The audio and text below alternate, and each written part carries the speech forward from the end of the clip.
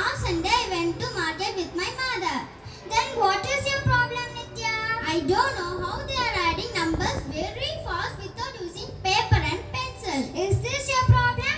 I will explain now. Let me take two number 35 plus 24. See the strip. One contains 10 cubes. So 1 is considered as 10. Now you count.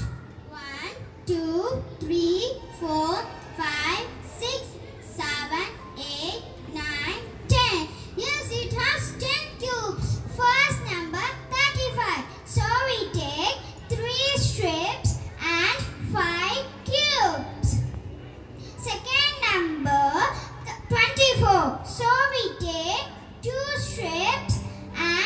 4 cubes.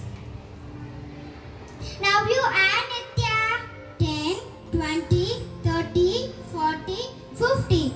51, 52, 53, 54, 55, 56, 57, 58, 59.